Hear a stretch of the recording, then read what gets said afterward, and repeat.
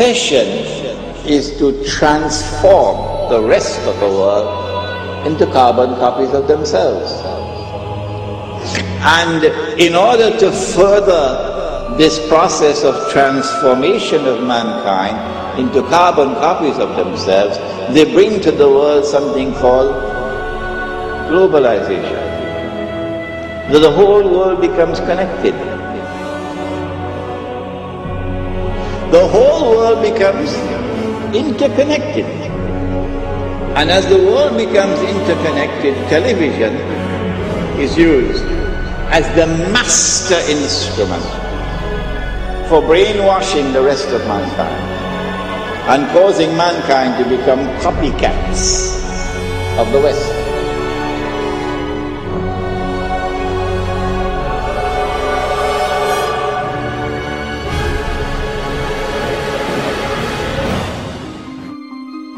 In a sense, what we're seeing is using branding that is so enmeshed in our culture and in our lives as a way back into our own societies, a way to engage with globalization. Because if you pick up a shoe now, you have the story of globalization in your hand. You have leather that was maybe produced in Argentina, shipped to to the Philippines, produced by a Korean subcontractor that went through a Hong Kong broker that was dealing with a company in Oregon. So you're looking at this thing, and if you can deconstruct it, if you can trace all the components through the global economy, and not only that, but find out how much that company that's selling you that shoe spent on advertising last year, and how much money they paid a superstar athlete to, sp- to sponsor them, then you, you have the disparities of the global economy in miniature, the winners and the losers.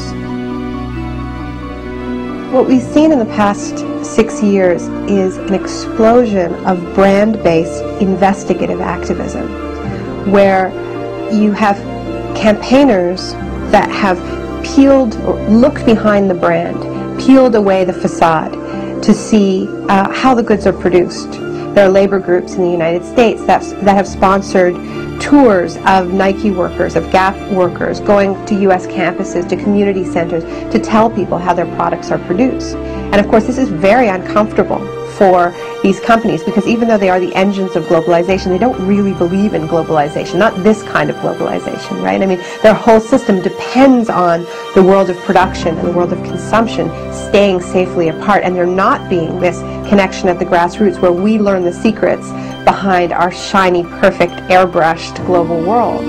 So now these brands have become, uh, in many ways, the most visible targets of globalization. So much so that whenever you see a protest, during a protest, there'll be a line of riot cops guarding the Starbucks, guarding the Gap, guarding the McDonald's. And this strikes me as tremendously symbolic somehow, that they're, they're guarding the facade, the entry point into the world of globalization. And what this activism is doing is it's putting them together. And it's going to the shiny facade of the brand outside the mall, outside the superstore, and saying, we know how your products are produced. That's what these campaigns do. They make globalization real. They say it's about the food that you eat, it's about the clothes that you wear, it's about the toys you buy your kids.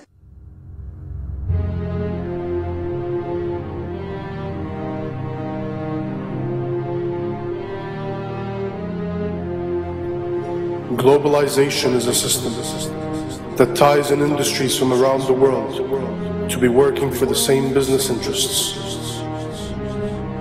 A machine, globally fulfilling the needs of the few, teaching you that humanity will perish without it.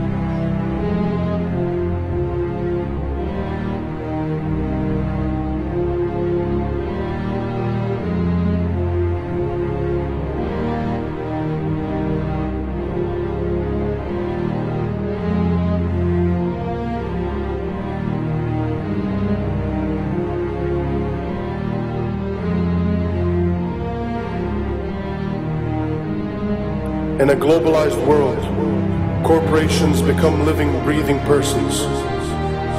A modern day slave master.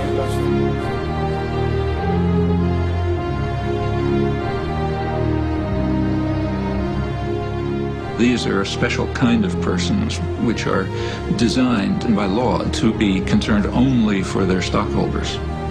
and not say what are sometimes called their stakeholders, like the community or the workforce or whatever.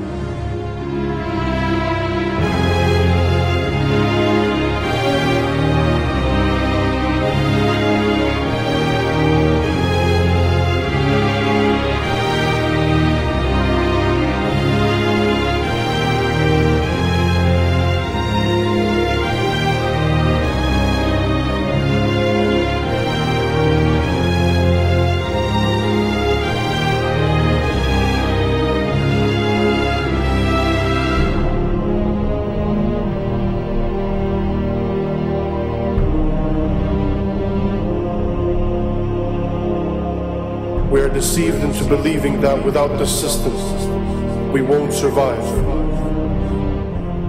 But in fact, the system won't survive without our support.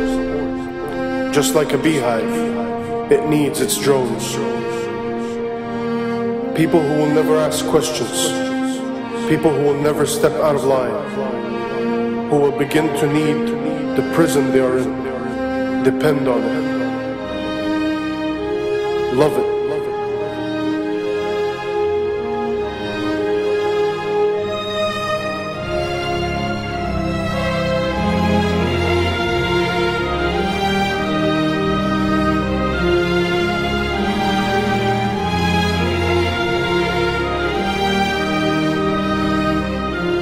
Have we lost our humanity? Have we become the gears of the machine? A machine which only survives by feasting on us, guzzling us up, digesting us, only to excrete out its capital.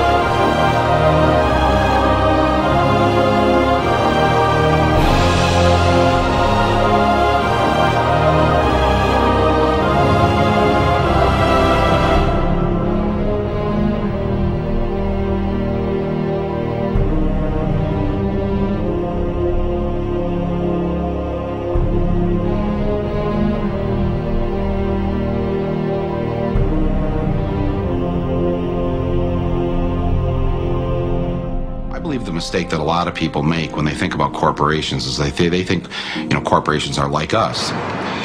General Electric is a kind old man with lots of stories. Nike, Young, energetic, Microsoft, aggressive, McDonald's, young, outgoing. Monsanto, immaculately dressed, Disney, goofy. The Body Shop, uh, deceptive. They think they have feelings, they have politics, they have belief systems. They really only have one thing the bottom line how to make as much money as they can in any given quarter. That's it. Of course they make a profit, and it's a good thing. That's the incentive that makes capitalism work, to give us more of the things that we need.